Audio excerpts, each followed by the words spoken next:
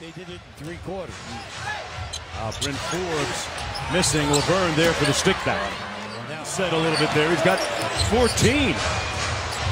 Didn't know he had that in his bag, Hubie. Lauvergne inside, finishing. He's five for nine in the three ball. He's 10 for 16 from the floor.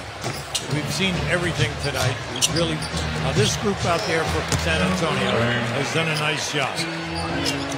Chris Paul turned it over. Bertans on the move. Nice pass to Lauvergne and these Spurs still trying to battle. Lorenzi creates the space, and with this guy, he only needs inches. He doesn't need a foot. James Harden, uh,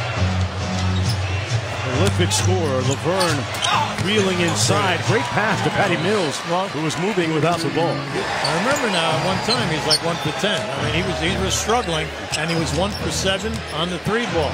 But he, unfortunately for you, he plays the full 48 minutes. Bertans with the three. I'll tell you. he nails it. No, this he's another young Colt. And the Houston Rockets. And uh, this team has been especially good for the Houston community as Lauvergne punches at home. When you think about the devastation, young guys came in and played hard.